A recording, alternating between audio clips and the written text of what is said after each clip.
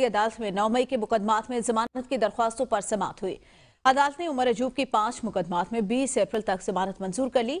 अदालत ने उमर अजूब को पचास हज़ार रुपए के मचल के दाखिल कराने का हुक्म दे दिया। आम खबर है एटीसी लाहौर में अदालत ने उमर अयूब की पाँच मुकदमात में 20 अप्रैल तक जमानत मंजूर कर ली है। जी बिल्कुल दादे दहशत गर्दी अदालत लाहौर में नौ मई के मुकदमात में जमानत की दरखास्तों पर समाप्त हुई है। अदालत ने उमर अयूब की पाँच मुकदमात में 20 अप्रैल तक जमानत में मंजूर कर ली है। अदालत ने उमर अयूब को पचास हज़ार रुपये में चल के दाखिल कराने का भी हुक्म दे दिया दादे दहशत गर्दी अदालत के जज अरशद जवेद ने समात की है। उमर अयूब खान ने हाईकोर्ट से हफाजी जमानत करा रखी है। आज उमर यूब ने खुद इस अदालत के रूबरू पेश हुए।